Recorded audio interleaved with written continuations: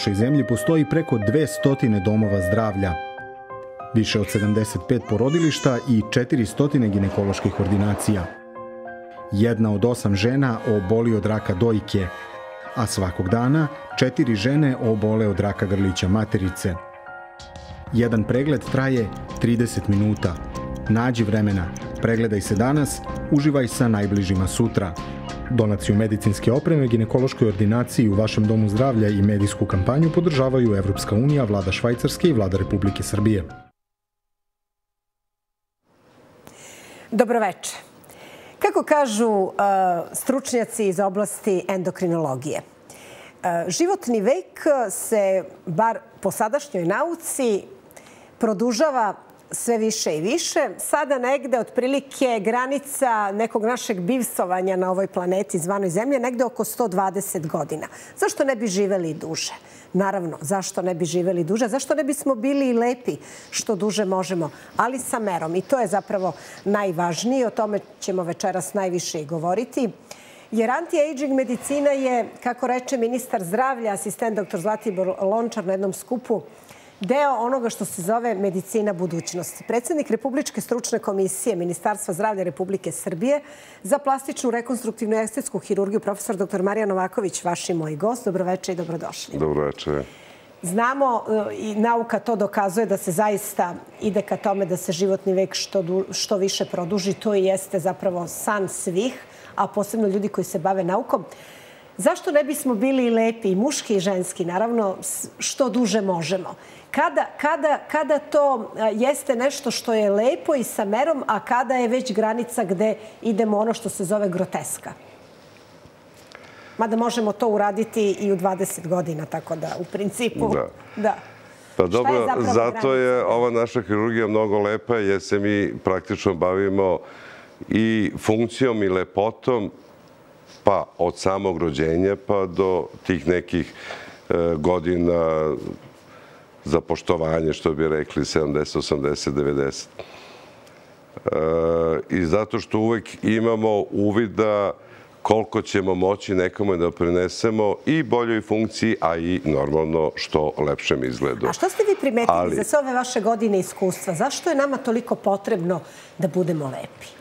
Pa iz više razloga. Znate, prvo u osnovnoj komunikaciji, e, Pa za dobijanje nekih e, poslova, recimo nekome je u profesiji jako ovaj bitan spoljašnji izgled.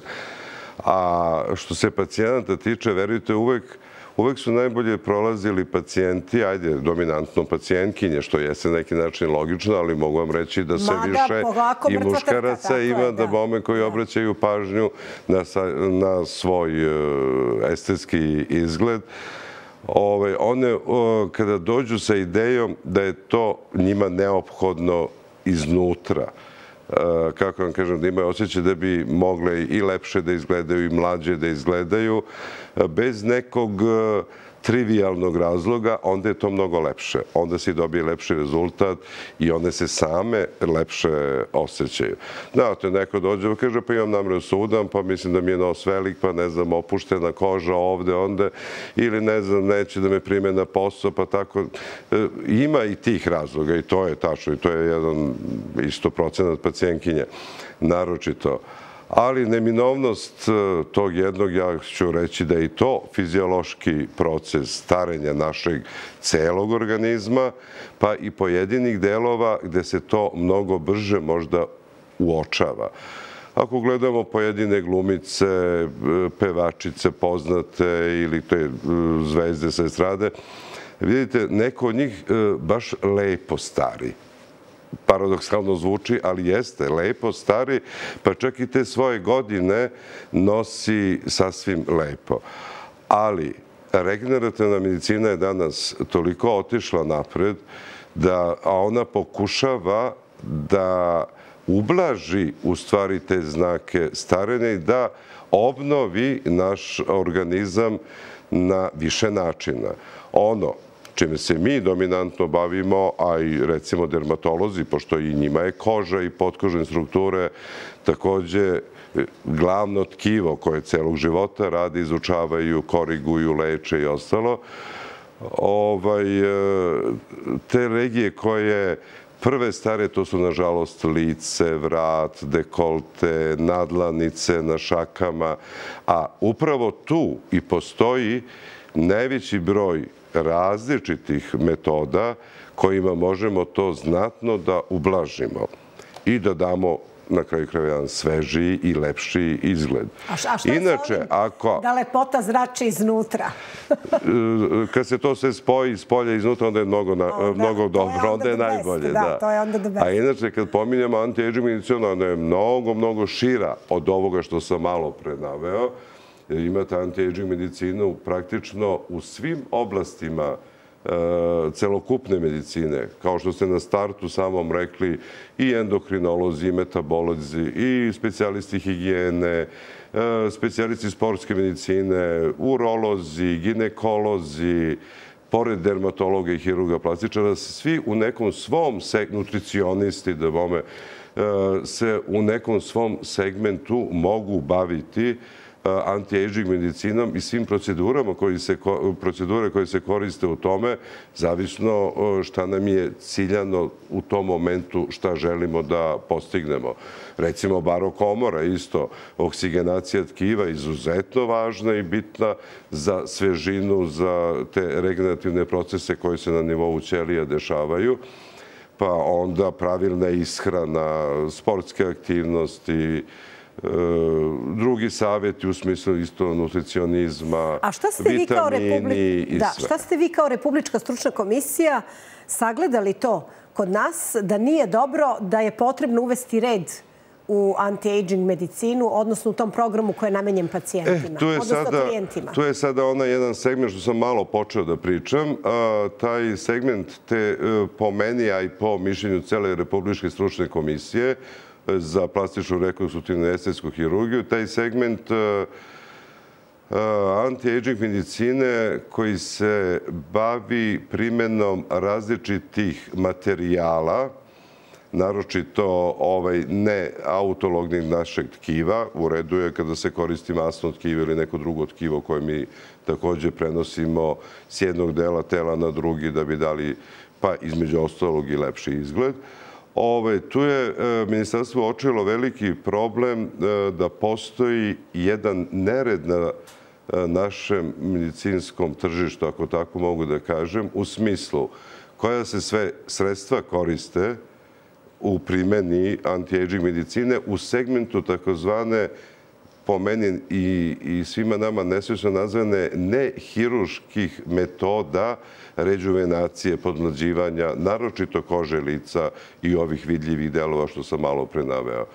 Znači, sredstva koja se koriste, mesto gde se ta sredstva primenjuju i ko ih primenjuje, kakvu je edukaciju ili u sklopu svoje sobstvene specializacije, osnovne specializacije, ili naknadnim nekim edukacijama taj lekar ovaj, e, stekao. Osnovno, čisto, evo, to je dobro da ovaj, ljudi koji nas slušaju da znaju, osnovno je da ta sredstva može e, primenjivati na pacijentu, to jest na e, ženi ili čoveku koji hoće da se podmlade, pre svega lekar. Drugo, da takve procedure moraju isključivo i samo da se izvode u zdravstvenim ustanovama, i državnim i privatnim. I treće, da sva ta sredstva koja se koriste za podmlađivanje sa tim takozvanim neinvazivnim ili nehiruškim metodama, moraju da imaju dozvolu našeg ALIMS-a. ALIMS je naša organizacija, jeste Agencija za lekove i potrošno medicinska sredstva. To znači da su proverena sredstva. Kada se sve to troje stavi ovaj, pod kontrolu, onda će sve ići na ruku čega? Na ruku pacijenta i sigurnost pre svega pacijenta kome se ta sredstva primenjuju, i očuvanju struke. Jer, znate, ne možemo dozvoliti bilo kome da to vulgarizuje, da kaže pa to je samo bodenje, kao davanje inekcije, kao pa mi smo davali inekcije u srednjoj školi ili ne znam gde već, ovaj, e, sve te procedure mogu, nažalost, da dovedu i do velikih posledica. Ne samo lokalno tu gde se primenje. Što smo imali prilike da vidimo i da čitamo u mesecima, godinama unazad. Ne samo na mestu tu gde se aplikuju, nego i za ceo organizam. I prema tome, zato je izuzetno bitna edukacija i sredstva koje se koriste. Znate, hiruzi, plastičari i dermatolozi, E, to su možda dve specijalnosti koje praktično bazično, naročito e, hiruška grana naša plastična, izučava naš organizam u smislu transplantacija i sobstvenog tkiva, i tkiva sa drugog organizma i primjenu veštačkih materijala na ljudski organizam i samim tim i reakciju našeg organizma na sve to. Mi to izučavamo praktično od prvog dana svoje specializacije. Kako mi da znamo, kako da izaberemo ako imamo potrebu za takvim nekim tretmanom, kako da mi budemo sigurni da je to baš čovek, osoba zapravo koja je edukovana? Da li, mislim, kad uđete, da li pa, možete da tražite i licencu, diplomu, već svaki lekar, svaki lekar treba pre svega pošteno svom pacijentu da objasni sve mogućnosti. Mi imamo izuzetno veliki broj i hiruga, plastičara i dermatologa koji se uspešno bave ovim svim procedurama u svojim ordinacijama. Nažalost, imamo i neke druge specijalnosti koje nisu adekvatno obučene za to, pa primenjuju e, u svojim ustanovama, a nažalost negde se to radi i po kozmetskim salonima, po e, frizerajima ili ne znam već kojim im drugim. Salonima lepote, da. I salonima lepote, da bome i to ste rekli, centrima lepote i ostalo.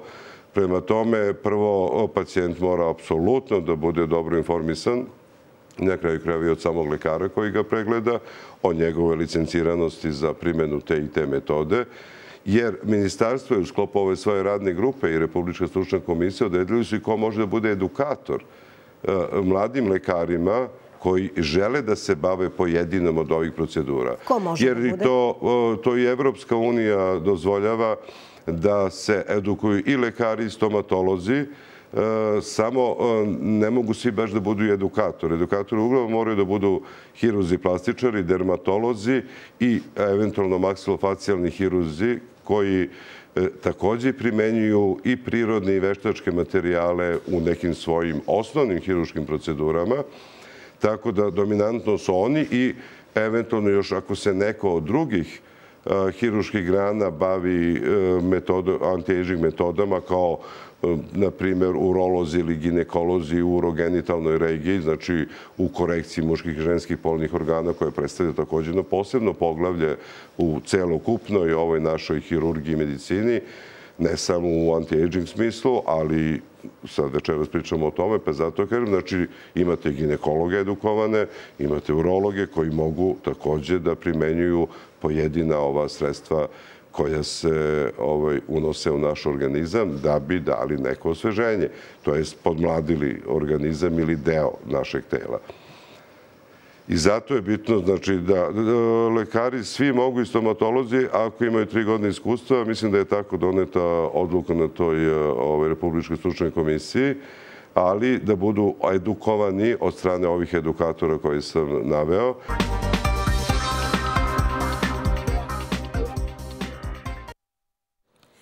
Uprkos veoma nepovoljnim vremenskim prilikama i 12. dana, misli se na 12. put u toku ove godine, akcija besplatnih preventivnih pregleda koju organizuje Ministarstvo zdravlja Republike Srbije u zdravstvenim ustanovama širom zemlje, zabeležen je visok ociv građana. Pregled je obavilo oko 15.000 građana. Izuzetno visok odziv građana i pored jako nepovoljnih vremenskih prilika, velikog snega i hladnoće u našoj zemlji, još jedna je potvrda da javna svest o značaju prevencije kao najefikasnijeg načina brige o sobstvenom zdravlju u našem društvu jeste znatno unapređena i vrlo se radojem ako je to tačno. Ministarstvo zdravlja ovim putem zahvaljuje svim zdravstvenim radnicima koji su bili na raspolaganju i usluzi svim građanima Srbije na trudu i posvećenosti, kao i mnogobrojnim građanima koji su bili na pregledima na iskazanoj podršci i strpljenju. Građani su bili u prilici da juče obave preventivne pulmološke i oftalmološke preglede i po potrebi urade rentgen pluća i tumor markere. Inače, u dosadašnjih ukupno 12 dana akcije besplatnih preventivnih pregleda, oko 250.000 građana obavilo je preventivne preglede, što je jako važno jer je u mnogim situacijama pronađena sumnja za koje je trebalo naravno dodatno lečenje. A što nisu naravno znali je prevencija i podrazumeva da idete kad vam nije ništa na pregled, a ne da svi čekamo kad nas nešto zaboli pa se onda javljamo zdravstvenom radniku. Zima stiže, sa njom planovi za zimske praznike. Turistička ponuda je bogata od dočeka nove godine na Tajlandu ili Šarmel Šejku do skijanja na Jahorini ili slovenačkih termi. Ali bez obzira na destinaciju, jedno je sigurno. Ako putujete van Srbije, treba vam putno zdravstveno osiguranje. Mnogi građani, a posebno oni u zrelim godinama, odlučuju se za putnu polisu Republičkog fonda za zdravstveno osiguranje. Razlog nije samo povoljna cena, već i potpuna sloboda u izboru zdravstvenih ustanovu koja je neophodna usluga u inostranstvu i da će ona tamo biti pružena. Za prava po polisi putnog osiguranja Republičkog fonda za zdravstveno osiguranje nije bitno da li sa zemljom u kojoj putujete postoji međunarodni sporazum o socijalnom osiguranju. Planirajte zimske praznike i na nekoj daljoj destinaciji, ali uz polisu putnog osiguranja Republičkog fonda za zdravstveno osiguranje. Skrećemo pažnju na jedan previd koji vam se može dogoditi ako putujete u neku od susednih zemalja. Ponekad je dovoljna lična karta za prelaza granica, ali to ne znači da vam u susednoj državi važi zdravstvena kartica Srbije. Posebno treba naglasiti to ukoliko idete na skijanje. Bez doplate za zimske sportove koju Republički fond za zdravstveno osiguranje iznosi 50% cene polise, neće biti priznati troškovi lečenja u slučaju povreda na stazi. Pri pakovanju sem kreme za sunčanje, pre zatezanja vezova, obezbedite putnu polisu zdravstvenog osiguranja, opominju iz Republičkog fonda za zdravstveno osiguranje. A nas opominje struka večeras da se tržište anti-aging medicine u Srbiji uređuje, zahvaljujući naravno naporima struke, i da su postoje pravila koje je regulisalo Ministarstvo zdravlja Republike, Republike Srbije na predlog Republičke stručne komisije. Predsednik te komisije za plastičnu, rekonstruktivnu i estetsku hirurgiju, profesor dr. Marijan Omaković, je vaš i moj gost večeras. Ko će kontrolisati takvu vrstu pružanja zdravstvenih usluga u Srbiji. Rekli smo već da to mogu da rade isključivo, od sada će moći da rade isključivo samo lekari i stomatolozi koji imaju minimum tri godine, je li tako? Iskustva i adekvatnu edukaciju iz pojedinih procedura, ovih anti-aging procedura. Ko će sve to kontrolisati? Pa na prvom mjestu normalno podrazumova se zdravstvena inspekcija. Ja se nadam da će i tu stanje biti poboljšano u kom smislu, da će ih brojčano biti više.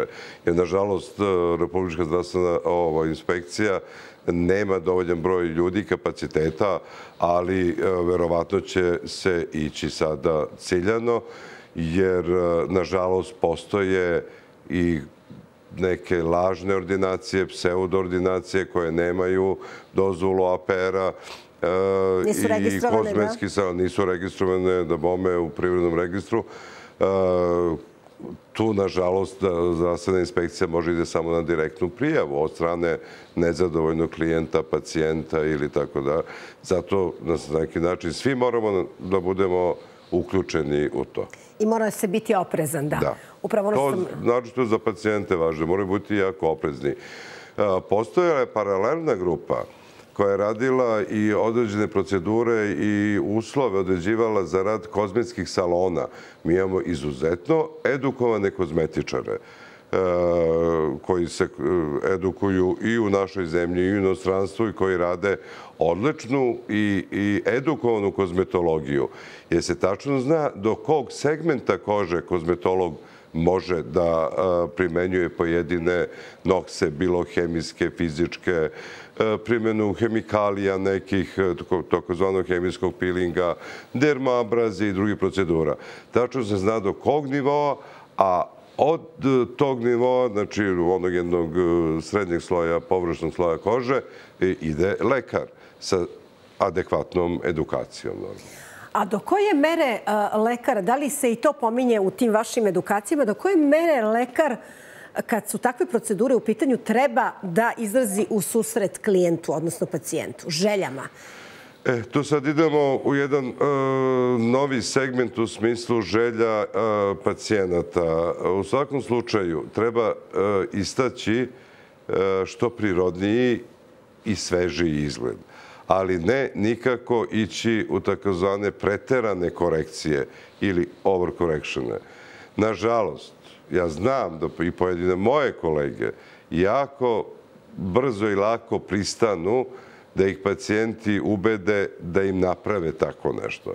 To svedoci smo svi, svakodnevno i u novinama i na televiziji pojedinih izgleda ne samo usana, nego i celog lica, kako u suštini e, pređe u jedan neprirodni izgled, a ne ono što bi trebalo da bude e, osnovni motor regenerativne medicine ili anti-aging medicine, da krajnje lepo osvežimo, obnovimo tkivo, a ne da promenimo ili izobličimo.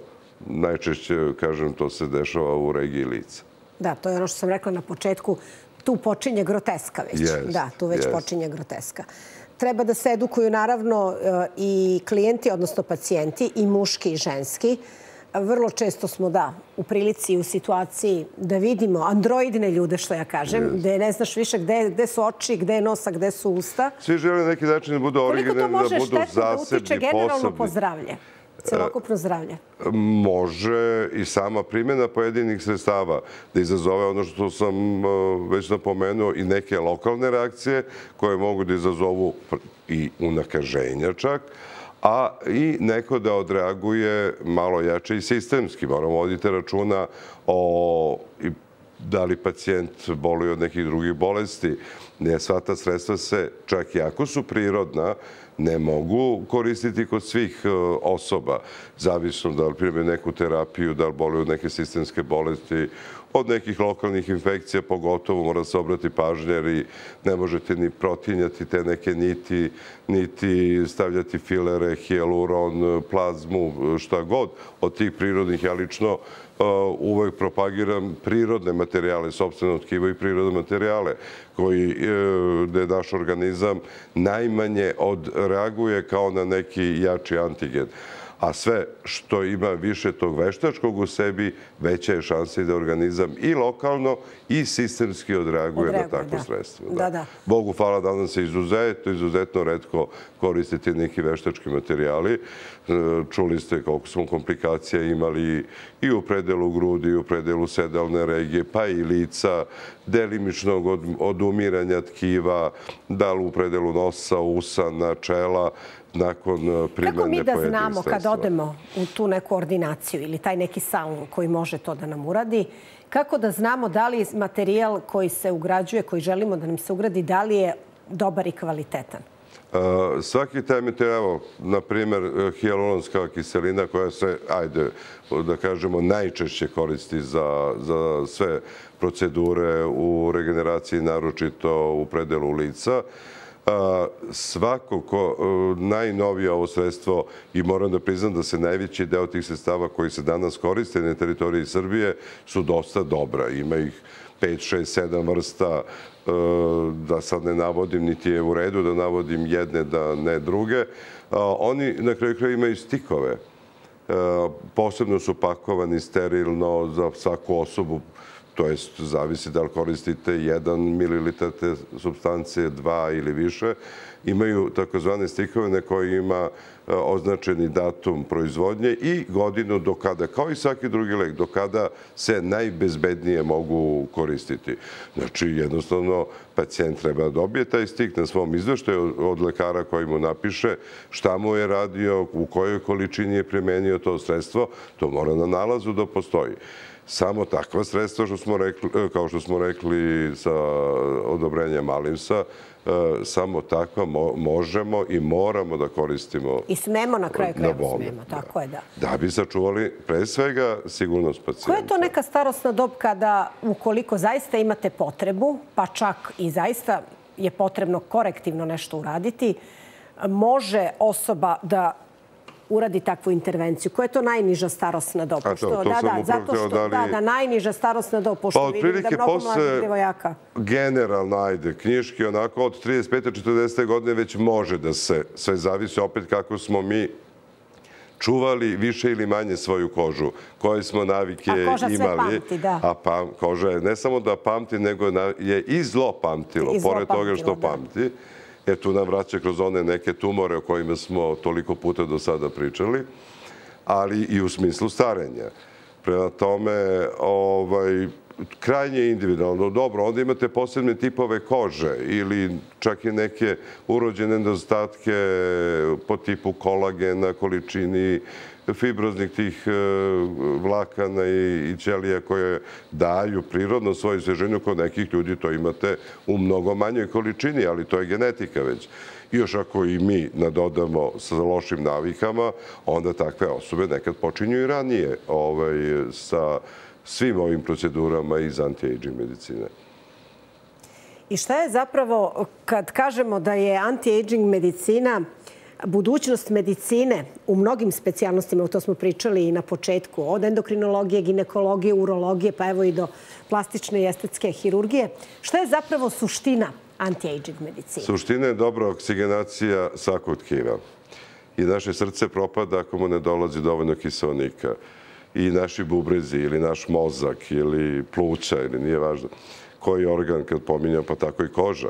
Pa mnoga tkiva koja mi prenosimo s jednog dela tela na drugi. Ako nemate dovoljno arterijske krvi, dobrog povraćaja venske krvi, neće priživjeti. E tako, i e, svako naše tkivo, nažalost, starenjem i starenjem krvnih sudova, E, ima mnogo manju oksigenaciju, a opet sad se vraćamo, sve to najbolje vidimo na licu. Jer vi sad kad lice rašlanite i po spratovima i po dubini, znači ne stari samo koža, stari potkožno, masno tkivo i fascije i mišići, čak i skelet. Pa ako bi se uporedile, e, pogotovo danas kada imamo i savremena regionološka sredstva i diagnostike, vi možete vidjeti kako i te jabučice i vilice e, i taj koštani deo njihov ide u jednu blagu atrofiju.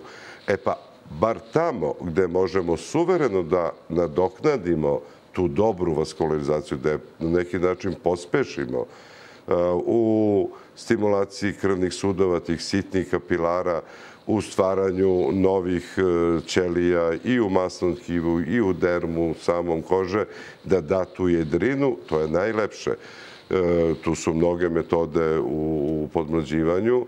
E, Hironska kiselina zna se vezuje vodu, pa time bubri, jer mi godinama smanjuje se njena količina u našem organizmu.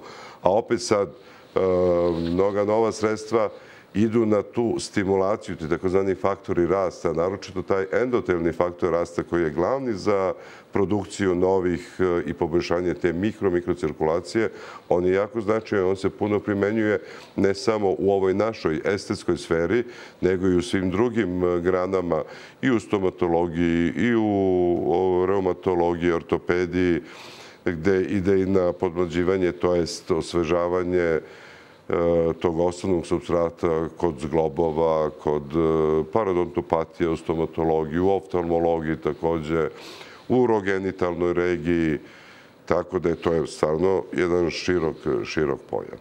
Hvala najljepše što ste veče za Beograd zdrav grad. Bilo mi je zadovoljstvo čuti sve ovo. Dragi moji i drage moje, zašto ne biste bili lepi i u trećem životnom dobu, ali sa merom? To je ono što je najvažnije. Kao i u svemu u životu treba imati meru. Budite mi živi i zdravi. Ostanite uz program radio televizije Studio bez slede vesti. Laku noć.